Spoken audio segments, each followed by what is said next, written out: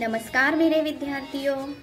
एक नई आशा के साथ और एक नई उम्मीद के साथ मैं आपकी हिंदी विषय की हिंदी अध्यापिका आपका हिंदी की एक कक्षा में हार्दिक स्वागत करती हूँ। विद्यार्थियों, आज हम कक्षा चौथी में भाषा माधुरी से पाठ चौथा मित्रता का अध्ययन करने वाले हैं।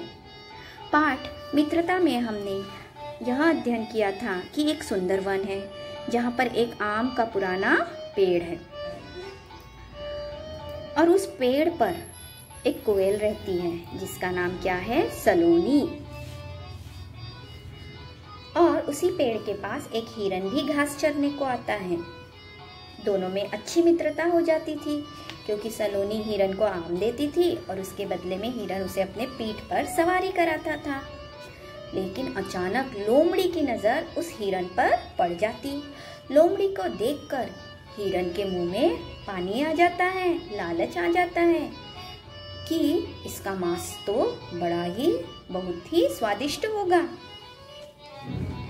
तब लोमड़ी हिरन को अपने जाल में फंसाना चाहती और कहती है कि मुझे एक बहुत बड़े हरे घास के मैदान का पता है और मैं भी वहाँ रोज जाती हूँ, तुम भी मेरे साथ चला करो।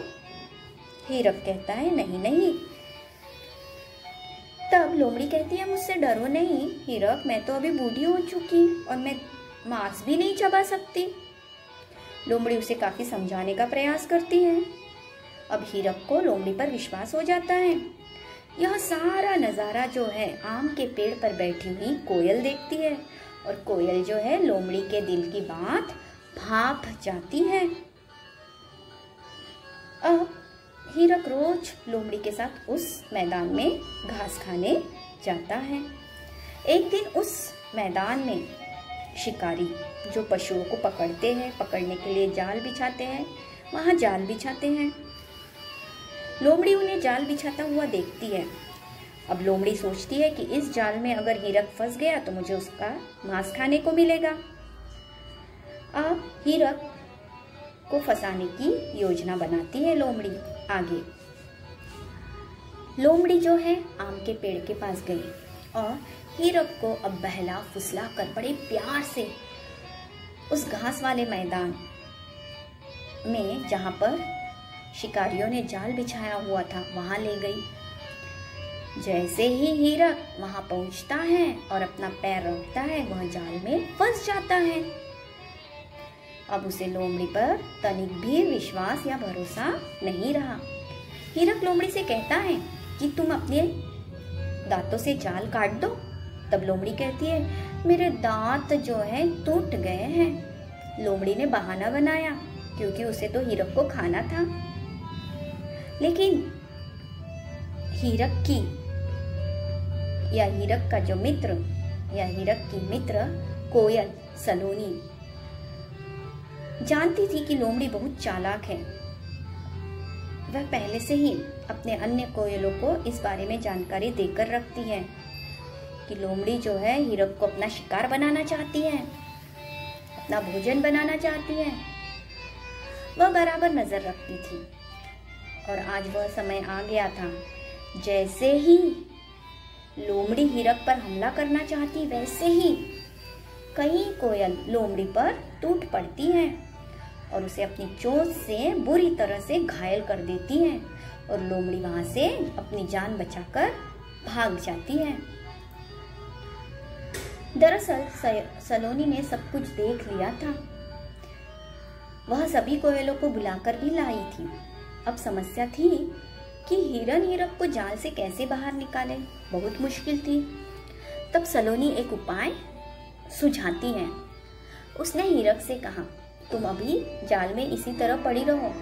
लेकिन जब मैं सुबह मधुर आवाज़ में गाने लगूँगी, मेरा गाना सुनकर तुम अपनी आँखें बंद कर देना और पेट फुलाकर ज़मीन पर लेट जाना।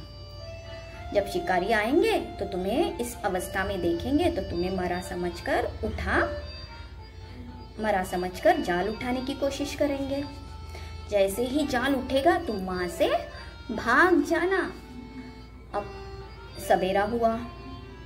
हीरक को जाल में फंसा देखकर शिकारी बहुत प्रसन्न होते, लेकिन पेट फूला हुआ देखकर वह सोचते हैं कि यह तो मर गया है लगता। कोयल भी देखती शिकारी आ गए तो वह वैसे ही गीत गाना शुरू कर देती है। जैसे कि हीरक को बताया गया था। जैसे ही शिकारी जाल उठाते हैं, हीरक जाल से मुक्त होकर तुरंत वहाँ से भाग जाता है। और शिकारी देखते रह जाते हैं। अब हीरक को बहुत पश्चाताप हो रहा था, पछतावा हो रहा था कि उसने अपनी मित्र सलोनी कोयल की बात नहीं मानी। अब हीरक कहता है, सलोनी, मित्र, तुम्हारे बार बार चेतावनी देने पर भी मैं लोमड़ी की धूर्तता में, चालाकी में आ गया। उसकी धूर्तता या चालाकी नहीं समझ पाया। मुझे क्षमा कर दो, माफ़ कर दो। तुमने सच्चे मित्र की तरह मित्रता निभाई। सलोनी फिर अपनी मधुर, मीठी आवाज़ में कूकने लगी। विद्यार्थियों, इस पाठ से हमें यही सीख मिलती है कि जो हमारे सच्चे मित्र होते हैं, वह बुरे समय में हमेशा हमारा साथ देते हैं, हमें सही दिशा दिखाते हैं।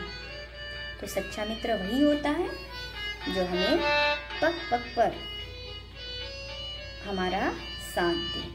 आशा करती हूँ यह पाठ आपकी समझ में अवश्य आया होगा।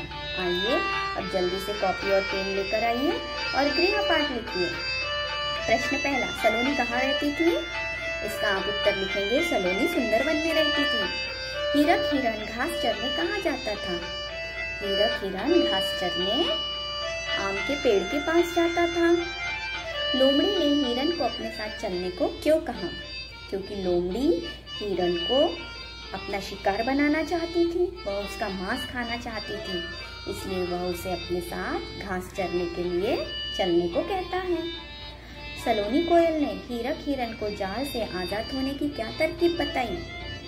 सलोनी ने कोयल सलोनी कोयल ने हीरक को जाल से आज़ाद होने की यह तरकीब बताई कि जब शिकारी आएँगे तो मैं गाने लगूँगी, तब तुम अपना पेट फुला लेना और ज़मीन पर लेट जाना।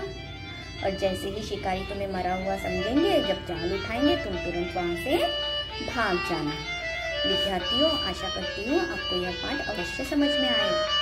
अब एक नए पाठ के साथ मैं आपसे पुनः मिलने आऊँगी। अच्छा बच्चों अब मैं चलती हूँ। धन्यवाद।